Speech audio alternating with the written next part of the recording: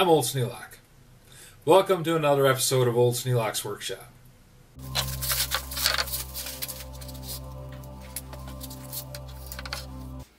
Twenty-six inches.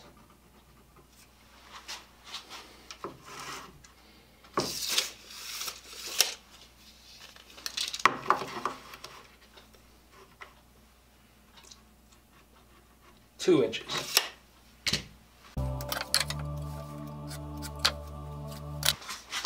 This high-tech straight edge is a piece of uh, old storm window that just happened to work for what I needed. Make my mark here at two inches. So I'm going to draw a line from that mark there to this mark here.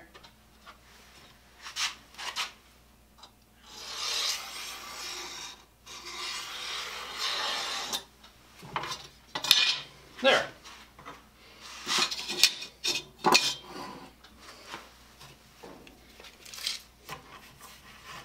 Now if I make that exactly two inches, I'm not allowing for the saw kerf. So I'm going to give myself 3 16ths of an inch for saw kerf. A little wider than what the saw actually cuts.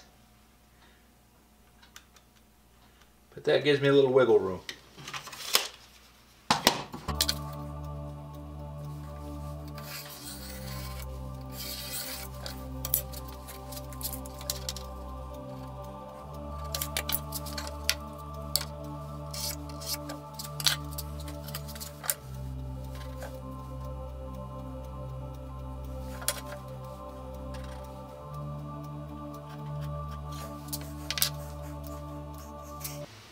On this end of the board, I'm laying out a mortise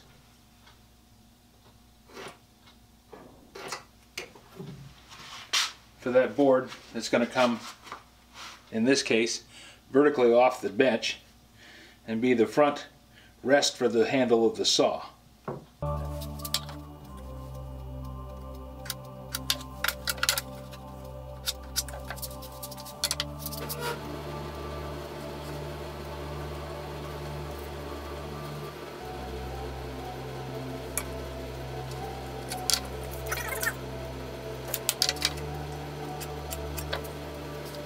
Another one out here in the middle. So that my shortest saw has something to lean against.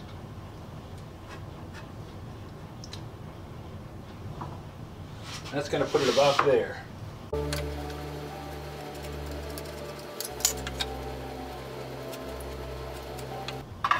And that will also be inch and three eighths.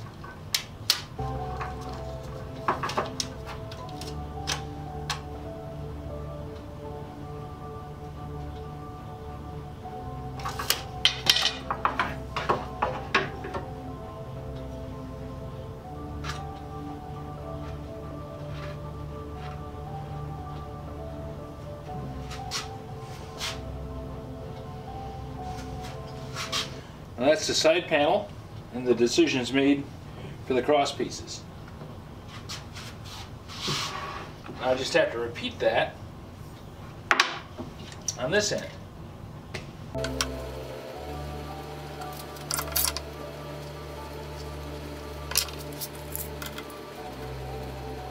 Starting at 16.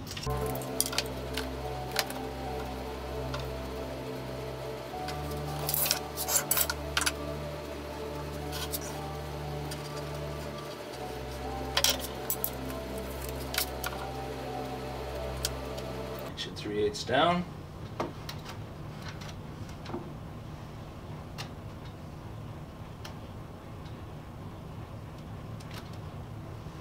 Inch and three eighths down.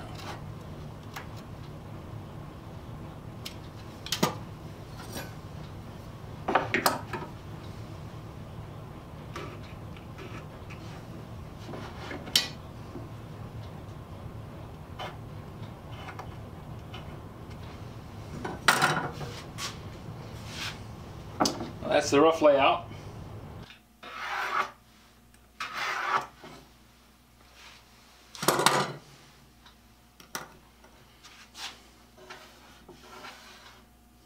One cut there. Then I can start ripping this down.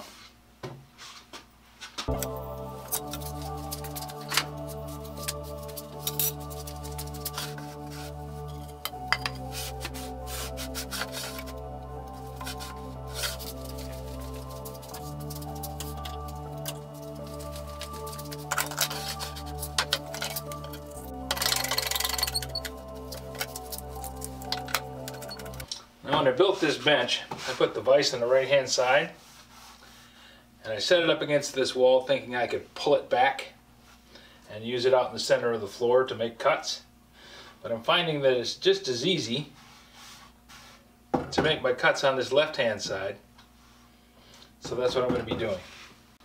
I'm using this Disston number 12 with a 10 tooth per inch. I get a much better cut.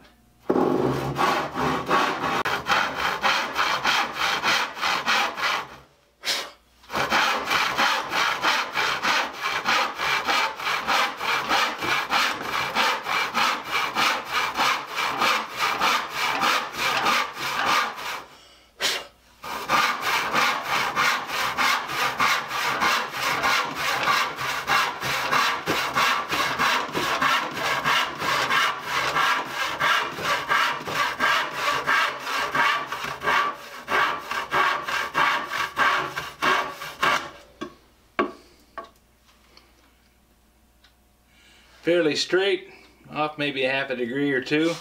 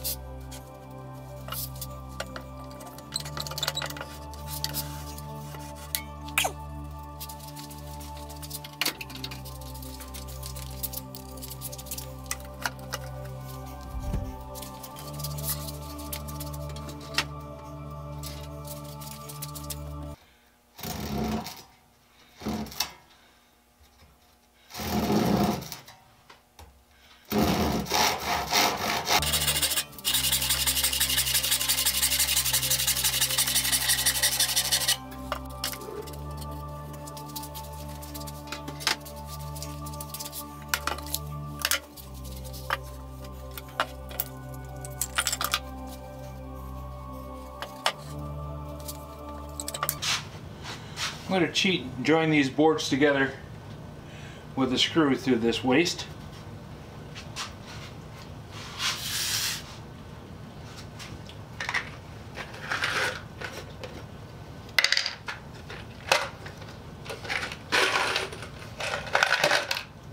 These inch and a quarter screws are just long enough to go down into the bottom piece and grip it and hold them in alignment. By using this countersink screw I can put one screw there, one screw here at the end, and one screw here at this end, and one screw up there at the top, and have these boards held tightly together so that they operate as one piece. That way as I go through and cut the mortises and shape this angle, I'll be able to maintain both pieces at the same size.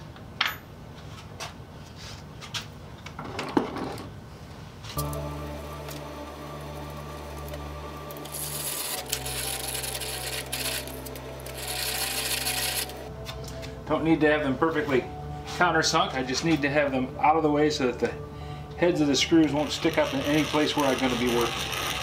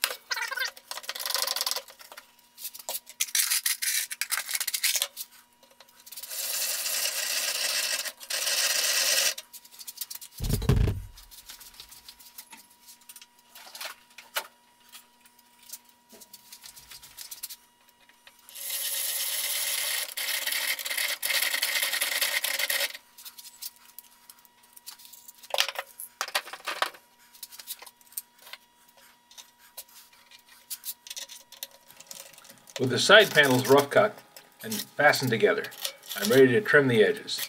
I want to plane them down so that they're all exactly smooth and even.